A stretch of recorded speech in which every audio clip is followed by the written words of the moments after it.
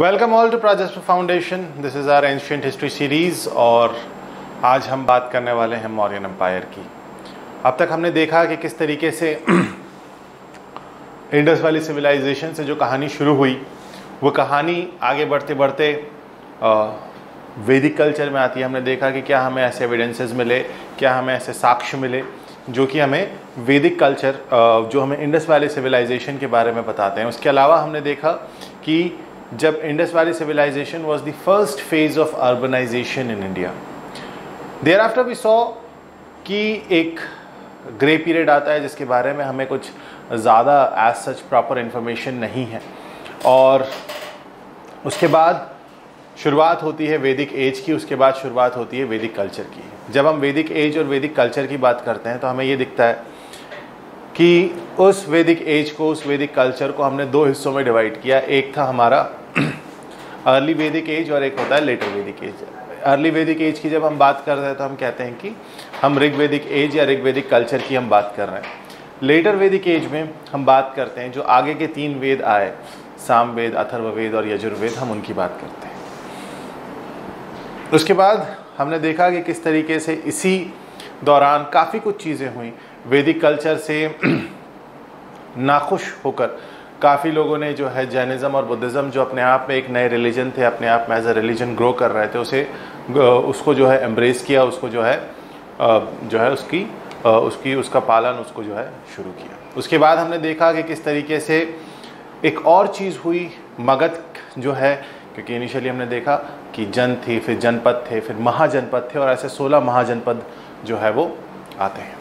उन सोलह महाजनपदों में फिर कम जो वीकर महाजनपद होते हैं, जो कमज़ोर होते हैं, वो एलिमिनेट होने लग जाते हैं। एट द एंड चार बचते हैं और अब बाद में ये चार भी जो है धीरे धीरे मर्ज हो जाते हैं और फाइनली सिर्फ़ एक महाजनपद बचती है, वो है मगध।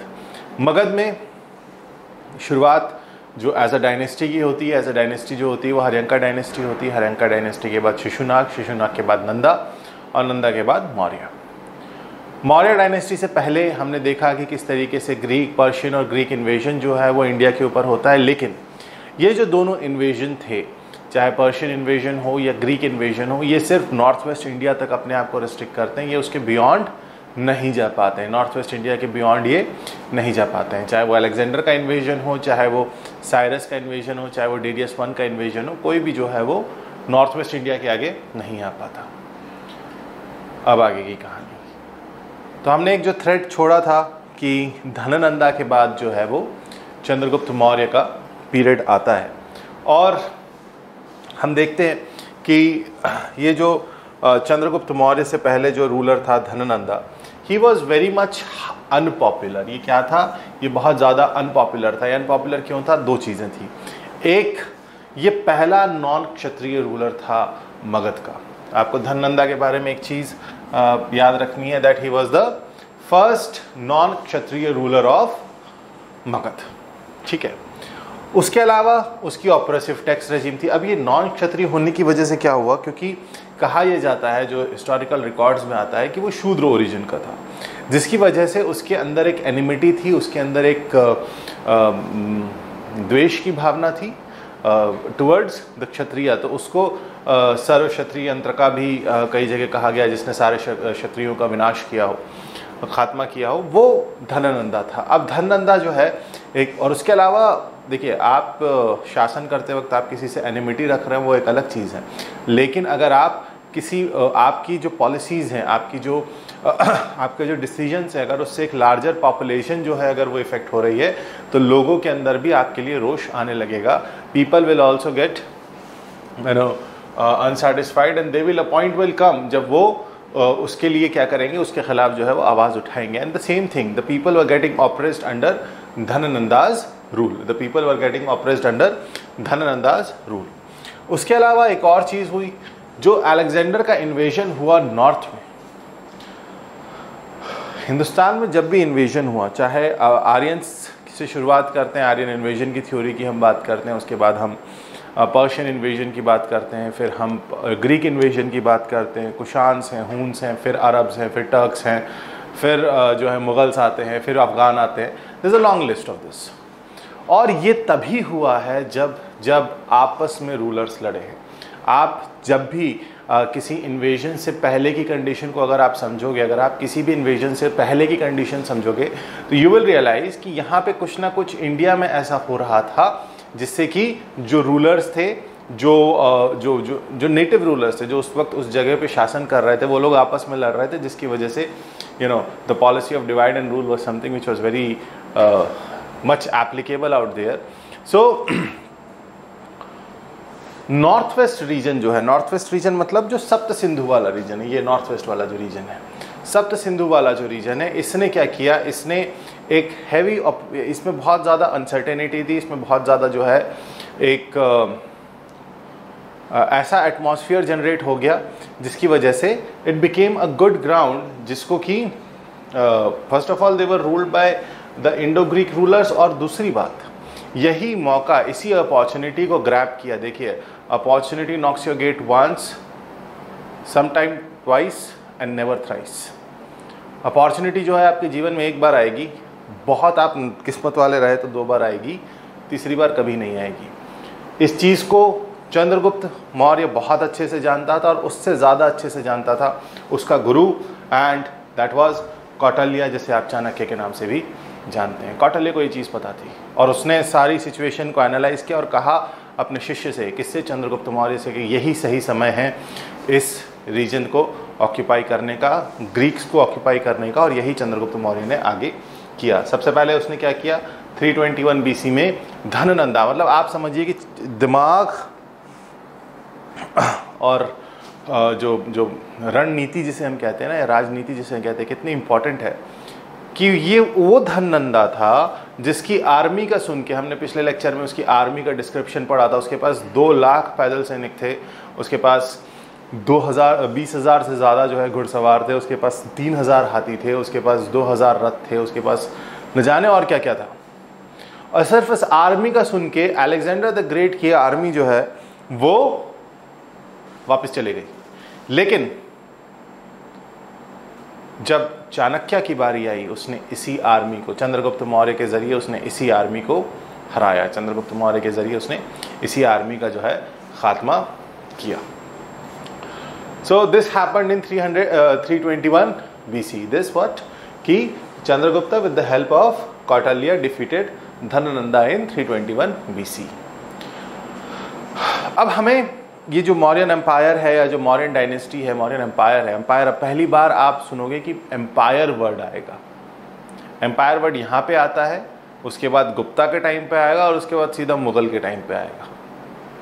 उससे पहले एम्पायर वर्ड कहीं यूज़ तीन जगह आप इंडियन हिस्ट्री में अगर आप मॉडर्न हिस्ट्री को भी इंक्लूड कर लोगे तो चार जगह हम एम्पायर वर्ड यूज़ करेंगे। एक हम यूज़ करेंगे मौर्यन एम्पायर में, एक हम यूज़ करेंगे गुप्ताज एम्पायर में। हर्षवर्धन का एम्पायर नहीं था, उसका रूल था। छोटे हिस्से में कर रहा था। उसके बाद हम जो वर्ड एम्पायर यूज़ करेंगे, वो मुगल एम्पायर यूज़ करेंगे और उसके बाद ब्रिटिश एम्पायर यूज़ करेंगे। Empire denotes a larger territory या लार्जर एरिया तो सबसे पहले हम देखते हैं कि वो कौन से ऐसे लिटरेरी सोर्सेज थे जो मॉरन एम्पायर के बारे में हमें बताते हैं। Number one in that and that is the most important source and that is Kautilya's Arthashastra the most important source of this अब कौटल्य के अर्थशास्त्र अब कहते हैं कि चाणक्य या कौटल्य का जो अर्थशास्त्र है, वो एक किताब है। आपको उस मिसकंसेप्शन से निकलना, वो एक किताब नहीं है। It is a compilation of 15 books containing 180 chapters and these chapters वो सिर्फ़ इकोनॉमी uh, के ऊपर नहीं अर्थशास्त्र है तो आपको लग रहा है कि सिर्फ़ इकोनॉमी के ऊपर है। नहीं it is on king and his council and department of the government पूरा सिस्टम ऑफ़ ऑर्गेनाइजेशन पॉलिटी की बात कर सकते हैं आप। आप यहाँ पे लॉ की बात कर सकते हैं। क्रिमिनल सिविल और क्रिमिनल लॉ के बारे में जो है उस किताब में लिखा हुआ है। उन कंपाइलेशन में लिखा हुआ डिप्लोमेसी ऑफ़ वॉर रणनीति जिसे कहते हैं। रणनीति मतलब युद्ध नीति जिसे कहते हैं, उसके बारे में तो ये लार्जली जो है, ये तीन थीम्स में इन पंद्रह किताबों, इन एक सौ अस्सी चैप्टर्स को आप डिवाइड कर सकते हैं। And that is the rule of that is the source one of the major source for Mauryan empire और वह है कौटल्य के अर्थशास्त्र। और अभी हम आगे देखेंगे, जब हम मौर्यन एडमिनिस्ट्रेशन की बात करेंगे तो हम देखेंगे कहीं ना कहीं इन्हीं ग्राउंड्स पे जो है वो चल रहा है। उसके बाद बात करते हैं मेगस्थनीस की, इंडिका। मेगस्थनीस कौन था? मेगस्थनीस था एक ग्रीक एम्बेसडर मेगस्थनीस कौन था? Megasthenes was a Greek ambassador in the court of Chandragupta Maurya ये कौन, कहा? चंद्रगुप्त मौर्य की, उसमें क्या था? ये एक ग्रीक एम्बेसडर था। मैंने आपको बार बार कहा है कि जब भी हम हिस्ट्री पढ़ रहे होते हैं तो हमें अगर कोई चीज़ मल्टीपल सोर्सेज से मिल जाती है तो हम उसको फैक्ट मानते हैं हिस्टोरिकल फैक्ट मानते हैं, क्योंकि एक ही चीज़ को अगर कई लोग वेरीफाई कर रहे हैं तो वो एक सॉलिड सोर्स हो जाता है, वो एक ऑथेंटिक सोर्स हो जाता है अबाउट दैट हिस्ट्री लेकिन अगर वही सोर्स किसी न्यूट्रल व्यक्ति ने लिखा हो मतलब अगर मौर्यन साम्राज्य के बारे में कौटल्या से पता चल रहा है तो वो तो ठीक है, क्योंकि वो जो गवर्नर भी था, वो उनका गुरु भी था, वो उसको जो है इस्टेब्लिश करने में उसने रोल प्ले किया. लेकिन जब हमें ग्रीक सोर्स से भी पता चलता है कि नहीं, यहाँ पे जो बातें लिखी हैं, यहाँ पे जो चीज़ों की बात हो रही है, जिस आदर्शवादी समाज की संरचना की यहाँ बात हो रही है, वही चीज़ यहाँ पर भी एप्लीकेबल है, वो चीज़ यहाँ से भी हमें मिलती है तब मानते कि नहीं, ये ऐसा एग्जैक्टली exactly हुआ था। अब प्रॉब्लम क्या हुई? मैगस्थनीस की बुक जो है, बीच में गायब हो गई थी। और और इट इट लाइक कभी कुछ पार्ट कहीं मिल गया, कभी कुछ पार्ट कहीं मिल गया so this book has survived in bits and pieces and basically इस बुक में किसकी बात हो रही है? इस बुक में बात हो रही है मॉरियन एडमिनिस्ट्रेशन की और मिलिट्री ऑर्गेनाइजेशन की। And how the life was in the city of Pataliputra city of Pataliputra means modern day Patna city of Pataliputra means modern day Patna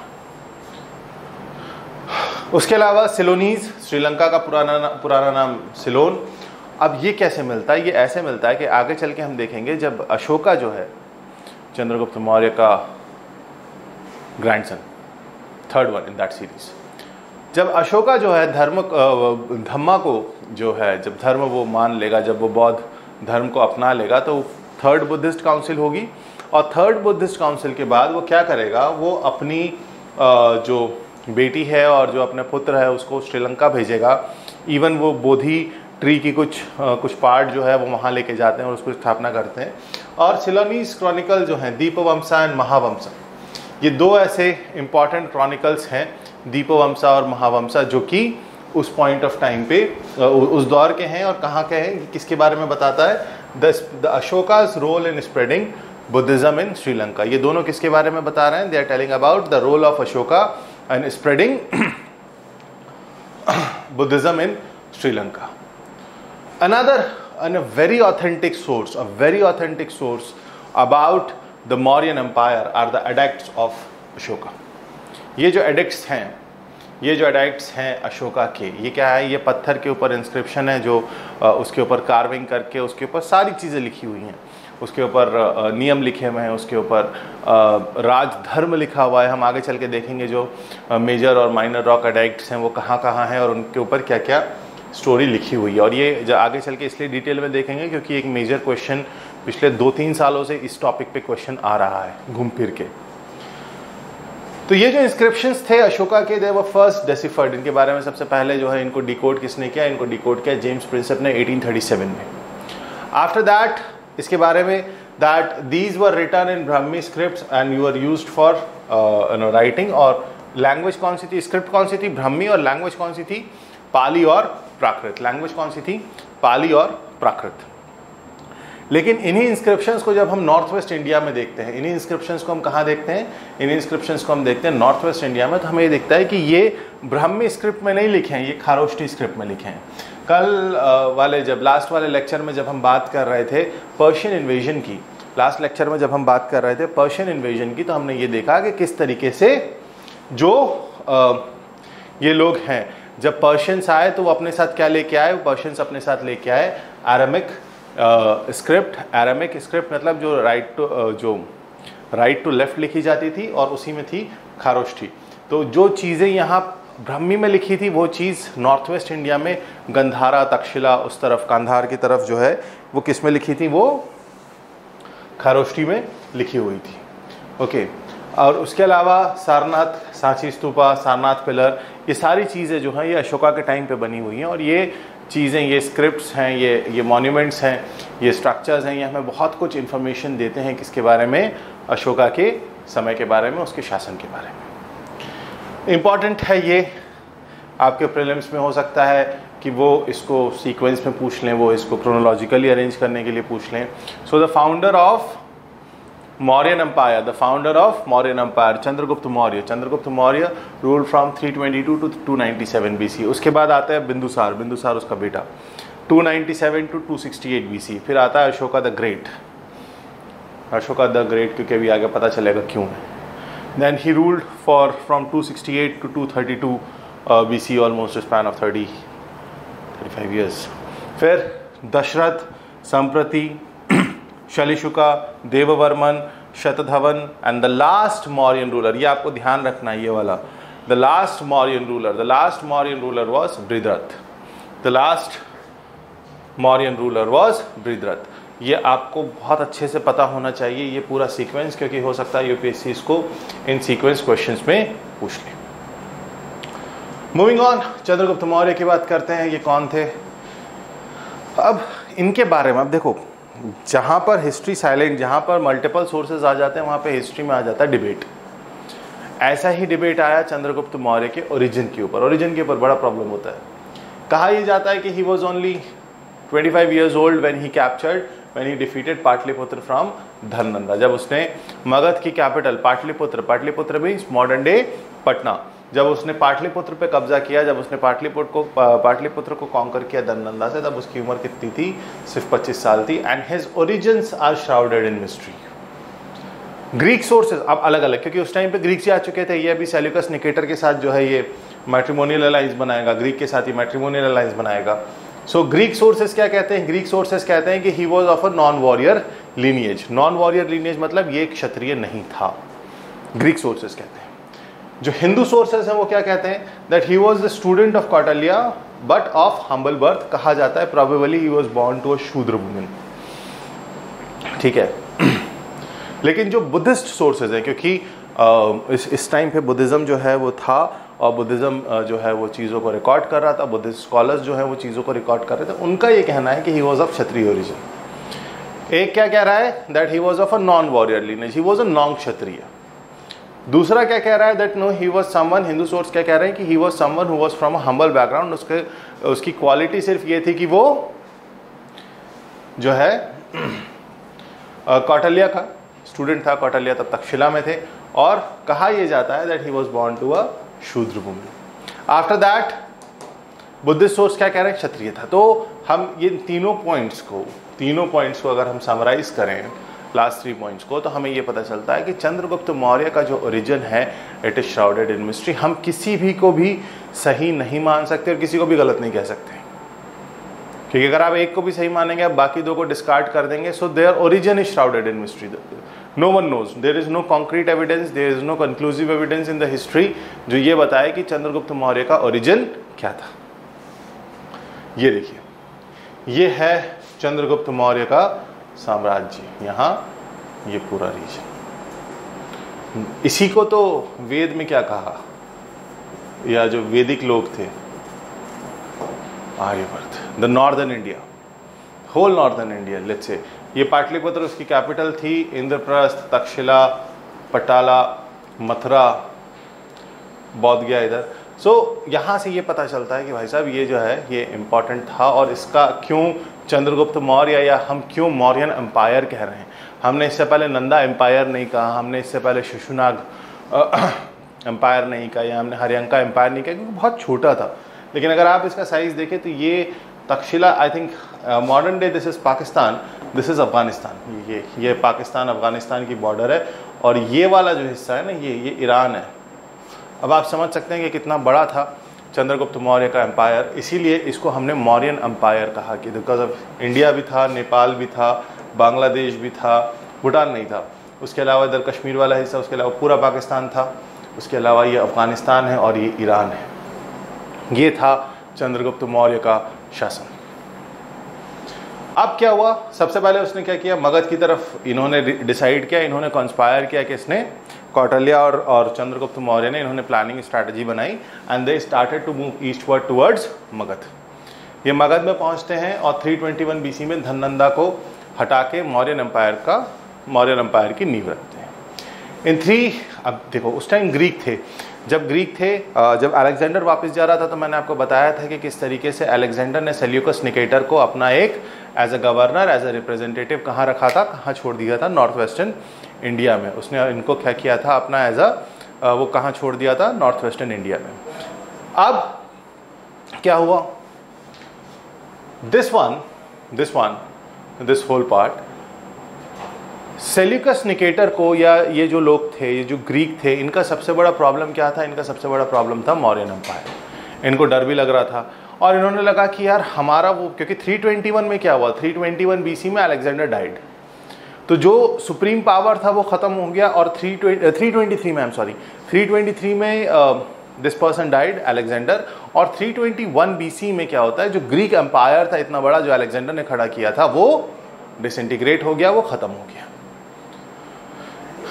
तो क्या होता है in 305 BC who Chandragupta Maurya he entered a treaty with Seleucus Nicator और उसने क्या किया इसमें Balochistan eastern Afghanistan and whatever region which was west of India ये किसके पास आ जाते हैं मौर्यन एम्पायर में आ जाता है। ये वाले हिस्से की बात कर रहे हैं।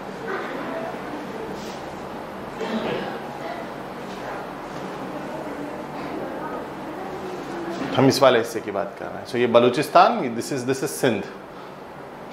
ये है पंजाब ये है सिंध ये है बलूचिस्तान। ठीक है? और ये है एन डब्ल्यू एफ़ पी ये पाकिस्तान का वो मैं बता रहा हूँ आपको।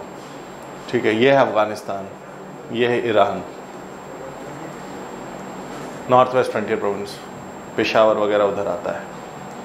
तो ये हिस्सा, बलूचिस्तान और ईस्टर्न अफ़गानिस्तान, ये हिस्सा जो है, किसके पास आ जाता है? मौर्यन एम्पायर के पास, चंद्रगुप्त मौर्य के पास आता है।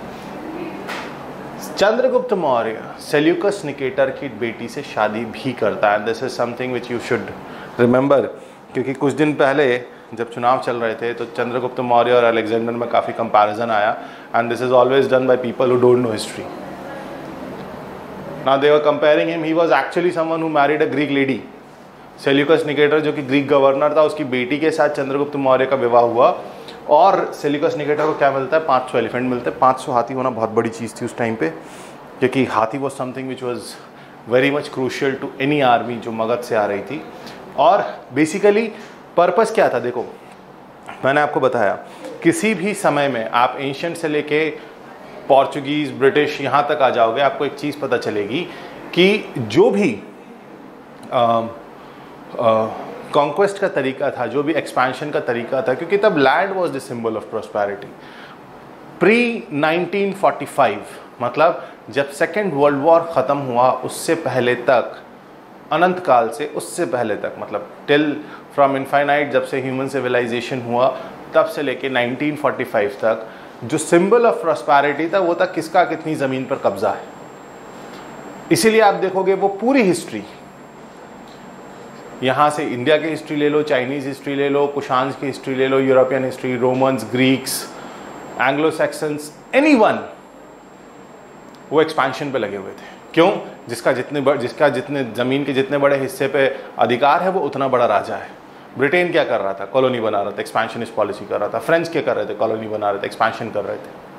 क्योंकि तब land was the symbol of prosperity यहाँ पर भी यही हो रहा था। अब एक्सपेंशन करने के दो तरीके, इस इस प्रॉपर्टी को, इस ज़मीन को एक्वायर करने के दो तरीके। भैया, या तो जो अटैक करो कॉन्क्वेस्ट करो, अपने उसमें मिला लो। या आप उसमें मैट्रिमोनियल अलायंस को ऐड कर दो, किसी से किसी की शादी कर लो, जो नहीं चाहिए वो या तो उसको वॉर अवॉइड हो जाता था या जो चाहिए होता था वो एज अ मैरिज गिफ्ट मिल जाता था। 1945 यूनाइटेड नेशंस बना, उसके बाद दुनिया की बॉर्डर्स जो हैं वो फाइनलाइज हुई, अब एक्सपेंशन नहीं होता। तो अब land is not a symbol of prosperity अब economy is the symbol of prosperity Japan छोटा सा है। बट और रशिया जापान और रशिया के साइज़ का तो कोई कंपैरिजन ही नहीं है लेकिन जापान ज़्यादा प्रॉस्परस है जापान ज़्यादा बड़ी इकोनॉमी है जापान ज़्यादा पावरफुल रशिया के पास हथियार है लेकिन उसके पास इकोनॉमी नहीं है. इंडिया रशिया से बड़ी इकोनॉमी है. लेकिन आप लैंड का साइज़ कंपेयर करोगे तो कुछ भी नहीं है इंडिया रशिया के सामने. सो so, क्यों? क्योंकि अब इंडस्ट्रियलाइज दुनिया है इकोनॉमी बेस्ड दुनिया है तो यहाँ economy is the symbol of prosperity so what he did basically Seleucus Nicator क्या करना चाह रहा था? He wanted to avoid war with the mighty Chandragupta Maurya Chandragupta Maurya के साथ वो किसी भी तरीके का जो है वॉर नहीं करना चाह रहा था। इस वजह से उसने तीन, ये वाला जो सेक्शन है that he married Seleucus Nicator ने क्या किया? अपनी बेटी का विवाह किया। 500 हाथी भी उसे गिफ्ट में मिल गए। और जो है चंद्रगुप्त मौर्य के साथ जो युद्ध हो सकता था, वो अवॉइड कर दिया गया। उसके अलावा उन्होंने बोला सर हमारा एक एम्बेसडर जो है आपके कोर्ट में बैठेगा वो जानना चाहता है कि हिंदुस्तान के लोग किस तरीके से शासन करते हैं आपका शासन किस तरीके से चलेगा तो मैगस्थनीज जो है जो आप बार बार आप जिसको हिस्ट्री में पढ़ते हो और he is a very important commentator of the contemporary Mauryan empire so he was a, who was he? He was a Greek ambassador in Chandragupt's court. And वो ये, उसका ये कहना है मेगस्थनीस का कि Chandragupta led a policy of expansion Chandragupta ने क्या किया? एक पॉलिसी ऑफ़ एक्सपेंशन शुरू किया and brought under one control almost the whole of the present India Kalinga और एक्सट्रीम साउथ को छोड़ के। मतलब ये वाला हिस्सा भी आगे चल के उसमें आ जाएगा। तो ये हिस्सा जो पेनिनसुलर इंडिया है, वो छोड़ के मेजॉरिटी पार्ट जो है, वो किसके राज्य में आ गया था? वो मौर्यन एम्पायर में आ गया था। 321 बीसी से लेके 297 बीसी तक तो 24 साल करीब दिस इज़ ऑलमोस्ट 24 इयर्स 24 साल क्या रहा? किसका शासन रहा? किसका रूल रहा? चंद्रगुप्त मौर्य का। 24 साल किसका शासन रहा? चंद्रगुप्त मौर्य का। अब फिर क्या हुआ? फिर आपको वो कहानी याद होगी कि Magadha twelve year famine Bhadrabahu जो हमने जैनिज्म में देखा था, वो क्या होता है, जब मगध में अकाल पड़ता है और मगध में अकाल कितना 12 साल का सूखा पड़ता है। There was a huge it is it is repeated again and again 12 साल के सूखे में जब वो पड़ता है तो क्या करता है, ये कौन? चंद्रगुप्त मौर्य अपने बेटे बिंदुसारा को, बिंदुसार को क्या करता है, वो साम्राज्य देता है और खुद भद्रबाहु के साथ साउथ में चला जाता है। वो वहीं जाके जो है he starve himself to death जब उसको लगता है कि अब मेरा जीवन पूरा हो चुका है तो वो जो जैन ट्रेडिशन है जिसमें खाना पीना जो है छोड़ देते हैं ताकि आ, वो आइडिया ये है कि वो अब हम जब जाने वाले हैं तो इन चीज़ों को क्यों व्यर्थ किया जाए। और इसीलिए Shravana Belagola is a very important Jain pilgrimage centre in the south Karnataka में श्रवण बेलागोला। ओके अब बात करते हैं चाणक्य की, कौटल्य की, अभी और भी नाम आएँगे इनके, विष्णुगुप्त नाम आएगा, और भी नाम आएँगे। क्योंकि ये जो है, ये the king maker the king maker is always important then the king always remember इसीलिए मिडिवल हिस्ट्री जब आएगी ना तो वहाँ हम एक ही चीज़ देखेंगे। मेडिवल हिस्ट्री में हम देखेंगे कि किस तरीके से उठापटक मची रही। कैसी उठापटक मची रही? सॉरी कैसी उठापटक मची रही? या तो कभी नोबल्स किंग को चला रहे थे किंग्स में और नोबल्स में। जो जो डोमिनेट कर रहा था, कभी किंग डोमिनेट कर रहे थे, कभी नोबल्स डोमिनेट कर रहे थे मेडिवल हिस्ट्री की कहानी सिर्फ़ इतनी है। चाणक्य की बात करें तो ये गुरु भी थे और ये चीफ मिनिस्टर भी थे। मुख्य सलाहकार थे किसके? चंद्रगुप्त मौर्य के। ही was a Brahmin by birth and he was a teacher and scholar at Taxila Taxila तब बहुत बड़ा सेंटर था। एजुकेशन का स्कॉलरली एक्टिविटीज़ का सो तक्षशिला से ये मतलब इट वाज लाइक कि उस दौर का ऑक्सफोर्ड समझ लो ऑक्सफोर्ड हार्वर्ड वाला स्टेटस था।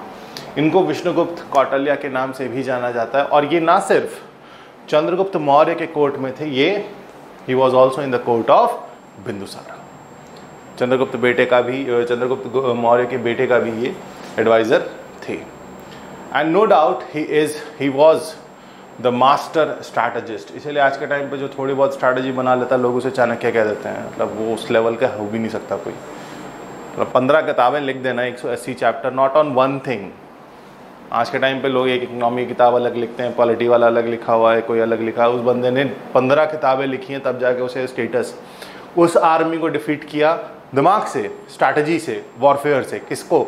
जिसको अलेक्जेंडर की आर्मी ने मना कर दिया कि हम इससे नहीं लड़ने वाले। उस आर्मी को उसने डिफीट किया। So calling anyone Chanakya is you know मतलब उनका रिस्पेक्ट है कुछ हिस्ट्री में। एंड चंद्रगुप्त और मौर्य एम्पायर को इस्टेब्लिश किया किसने? चाणक्य ने। And his he what he wrote Arthashastra, इसको मैंने स्टार्टिंग में भी देखा था। It is a treatise on state craft economics and military strategy ये वाली बात हम देख चुके हैं। हाँ एक चीज़। अर्थशास्त्र जो है, वो ट्वेल्थ सेंचुरी तक तो हमें पता चलता है कि ट्वेल्थ सेंचुरी तक अर्थशास्त्र थी।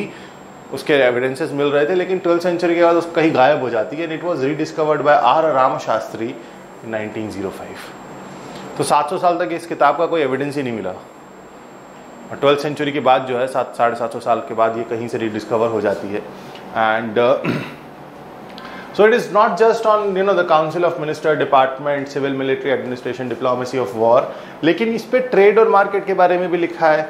स्क्रीनिंग ऑफ़ मिनिस्टर्स के बारे में भी लिखा है एस्पियोनाज के बारे में भी लिखा है किंग राजा का जो धर्म है राजधर्म है एथिक्स है सोशल सोशल वेलफेयर है agriculture mining metallurgy medicine forest etcetera everything